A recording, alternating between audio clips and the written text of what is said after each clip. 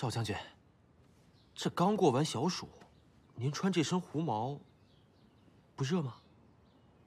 哼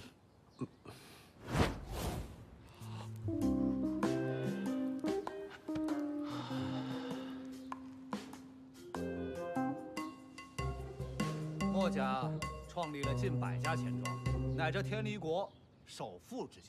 这个女人居然送上门来了，能把那石桥怎么让他心甘情愿的解除契约这呢？莫府不是想进就能进的，必须严格的选拔。莫府上上下下一百零八个差事，这差事简直是为本姑娘专属设定。开义虚堂这么多年，别的不会，照顾宠物那可是不在话下。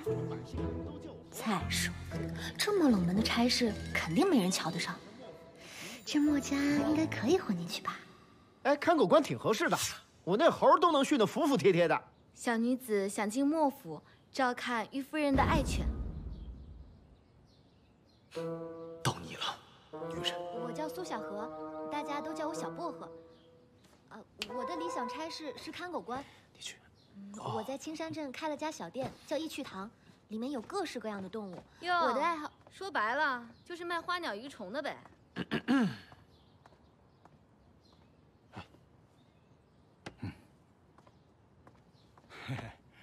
苏小荷，以你的资历做看口官一职，真是太委屈你了。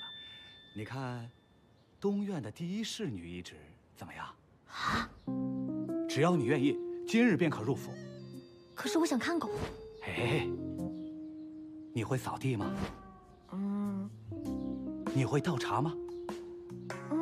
嗯，哎呀，真是多才多艺呀！你这样的人才去当看狗官，真是太浪费了。你完全符合东院第一侍女的要求啊！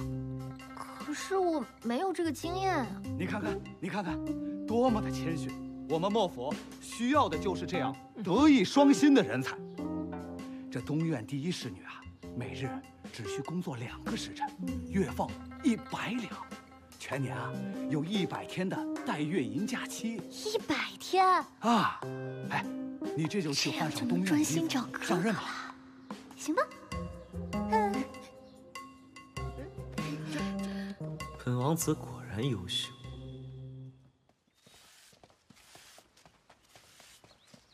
这莫府真是太大了，怎么找线索呢？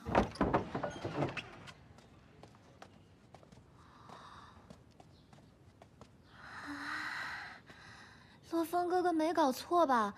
这是给侍女的房间正是。啊！这哪是侍女的房间？这简直是公主的闺房。喜欢吗？怎么又是你？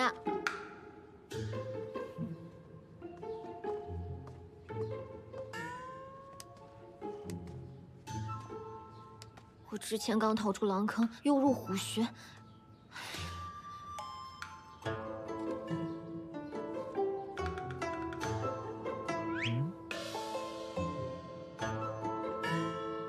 我虽然逃婚了，但这也不能全怪我。我也是被陷害的，我也是受害者。